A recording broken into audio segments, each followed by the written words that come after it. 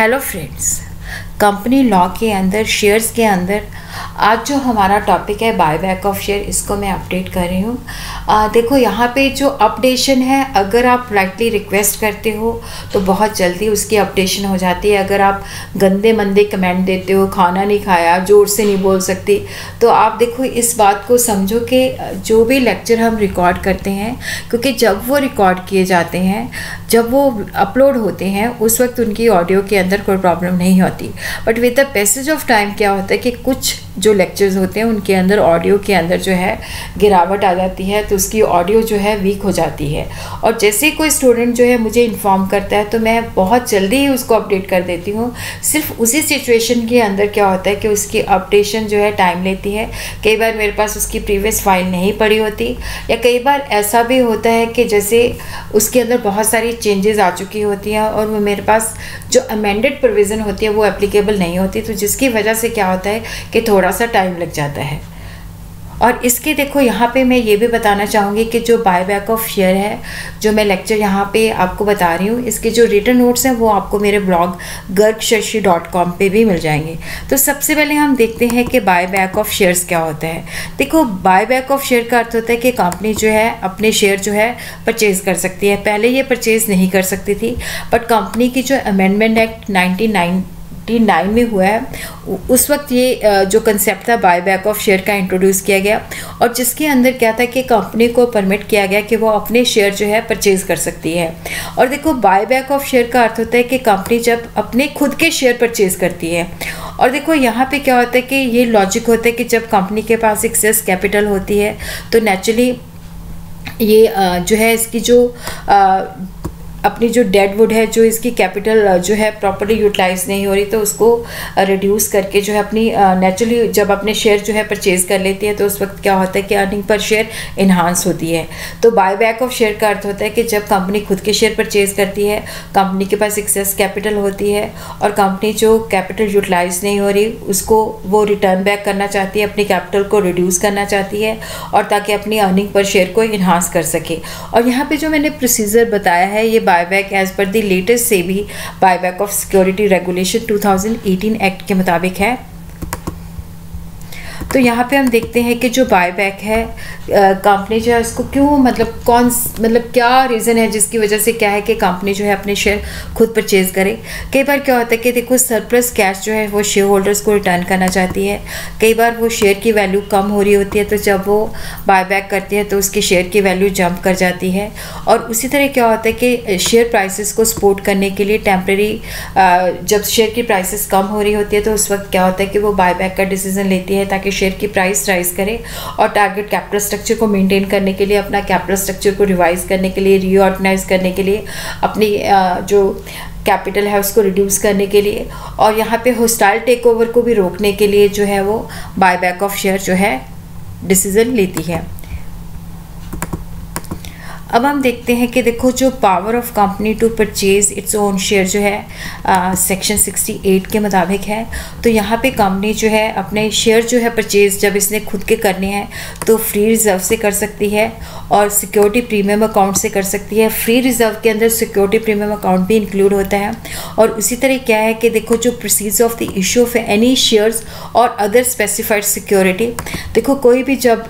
जो है share issue करती है या कोई स्पेसिफाइड सिक्योरिटी इशू करती है तो वहाँ से जो प्रोसीड्स आता है, उसको वो यूटिलाइज़ कर सकती है। देखो, यहाँ पे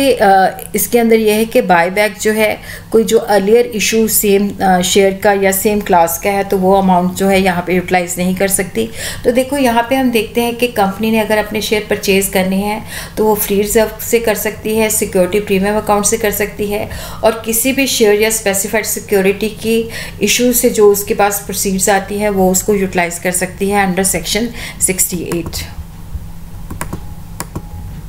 और उसी तरह क्या है कि देखो, जब भी बेसिकली क्या है कि जब भी कंपनी ने अपने शेयर परचेज़ करने हैं तो वो तभी कर सकती है अगर उसके आर्टिकल उसको परमिशन देते हैं आर्टिकल उसको ऑथराइज़ करते हैं और स्पेशल रेजोल्यूशन कुछ सिचुएशंस के अंदर क्या है कि जनरल मीटिंग के अंदर पास होना चाहिए। और उसी तरह क्या है कि देखो स्पेशल रेजोल्यूशन उन्हीं सिचुएशन के अंदर पास होना है जहाँ पे क्या होता है कि बायबैक जो है 25 परसेंट या उससे लेस है। बट अगर ये बायबैक जो है 10 परसेंट या उससे लेस है तो उस सिचुएशन के अंदर क्या होता है कि स्पेशल रेजोल्यूशन पास करने की ज़रूरत नहीं होती। उस सिचुएशन के अंदर क्या होता है कि बोर्ड ऑफ़ डायरेक्टर्स की जो बोर्ड ऑफ़ डायरेक्टर जो होते हैं, वो रेजोल्यूशन पास करके इसको ऑथराइज कर सकते हैं। अगर बायबैक जो है टेन परसेंट या उससे लेस है paid up equity capital and free reserve देखो, जब हम यहाँ पे बात करते हैं paid up equity capital and free reserve तो उसी फाइनेंशियल ईयर के अंदर, जिस फाइनेंशियल ईयर के अंदर ये बायबैक का डिसीज़न लेती है। और उसी तरह हम देखते हैं कि जो दो बाईबैक के अंदर जो गैप है, वो कम से कम एक साल का होना चाहिए। और देखो, जो नोटिस है, जिसके अंदर जो शेयर होल्डर की स्पेशल रेजोल्यूशन के लिए मीटिंग कॉल की जाती है तो वहाँ पे क्या है कि नोटिस के साथ ये सारी डिटेल जो है लगी होनी चाहिए। Full and complete fact of all the material facts कि हम बायबैक क्यों कर रहे हैं और बायबैक के अंदर कौन सी सिक्योरिटीज़ हमने परचेज़ करनी है और कितनी टाइम ड्यूरेशन के अंदर हमने बायबैक का जो प्रोसीजर है उसको हम ख़त्म कर देंगे। तो देखो, जो बायबैक जब हम कंपनी अपने शेयर परचेज़ करती है तो नेचुरली जब ये स्पेशल रेजोल्यूशन पास करती है, या अगर ये बोर्ड ऑफ़ डायरेक्टर या बोर्ड ऑफ़ रेजोल्यूशन है तो वहाँ पे क्या है कि जिस दिन से ये स्पेशल रेजोल्यूशन पास हुआ है, या जिस दिन से बोर्ड का ऑथोराइजेशन पास हुआ है तो उसके विद इन वन ईयर जो है ये ख़त्म होना चाहिए। और उसी तरह हम देखते हैं कि देखो जब स्पेशल रेजोल्यूशन पास हो जाता है या बोर्ड ऑफ़ डायरेक्टर जो है ऑथराइज कर देते हैं तो उस डेट से क्या है कि naturally within two working days जो है इसने एक पब्लिक अनाउंसमेंट करनी होती है कि हम जो है बायबैक ऑफ़ शेयर जो है कर रहे हैं। और उसी तरह हम देखते हैं कि जो एक कंपनी है, अगर उसने बायबैक करना है और अगर वो बायबैक जो है 25 परसेंट से ज़्यादा नहीं है तो उस सिचुएशन के अंदर जो है उसको स्पेशल रेजोल्यूशन पास करना पड़ता है। देखो बाय बैक जो है 25 परसेंट से ज़्यादा नहीं होगा। बाय बैक जो है अप टू 25 परसेंट या उससे लेस हो सकता है। और वैसे भी मैंने आपको बताया था कि अगर बाय बैक जो है टेन परसेंट या लेस है तो उसके अंदर हमें स्पेशल रेजोल्यूशन की ज़रूरत नहीं होती। उसके अंदर हमें सिर्फ़ बोर्ड ऑफ़ डायरेक्टर की जो ऑथराइजेशन होती है रिक्वायर्ड होती है। और उसी तरह क्या होता है कि देखो जो रेशो ऑफ़ डेट है ओड बाय द कंपनी और इसके अंदर सिक्योर अनसिक्योर दोनों ही हैं। और ये जो है जितनी कैपिटल एंड फ्री रिज़र्व है उसे uh, जो है डबल से ज़्यादा नहीं हो सकता बट सेंट्रल गवर्नमेंट जो है सेंट्रल गवर्नमेंट जो है कुछ सिचुएशंस के अंदर जो है ये रेशो हायर भी कर सकती है नोटिफिकेशन के द्वारा। और देखो, यहाँ पे जिन सिक्योरिटीज़ की कंपनी ने बायबैक करना है, वो फुली पेड अप होनी चाहिए। और देखो, यहाँ पे जो बायबैक का प्रोसीजर है, उसके अंदर सेबी का गाइडलाइन जो होती है फॉलो करनी होती है। As per the guideline of SEBI if अगर सिक्योरिटी जो है स्टॉक एक्सचेंज पे लिस्टेड है अदरवाइज़ जो गवर्नमेंट रेगुलेशन फ्रेम करती है, उस रेगुलेशन के तहत क्या होता है कि बायबैक का प्रोसीजर फॉलो किया जाता है। और देखो, यहाँ पे क्या होता है कि नेचुरली जब कंपनी ने बायबैक करती है तो नेचुरली जो बायबैक करती है तो उसका जो रिज़ल्ट है, वो रिडक्शन ऑफ़ शेयर कैपिटल जो है, होना चाहिए। और उसी तरह ही देखते हैं कि जो बाय बैक है एग्जिस्टिंग शेयर होल्डर से हो सकता है ओपन मार्केट से हो सकता है और लॉट से हो सकता है एम्प्लॉय से हो सकता है। और देखो जो बाय बैक के अंदर क्या होता है कि एलिजिबल शेयर होल्डर भी पार्टिसिपेट कर सकते हैं और अगर किसी एलिजिबल शेयर होल्डर को टेंडर लेटर नहीं जाता तो वो भी कर सकता है। इवन जो अनरजिस्टर्ड शेयर होल्डर होता है वो भी जो बाय बाय बैक प्रोसीजर है उसके अंदर वो आ, जो है आ,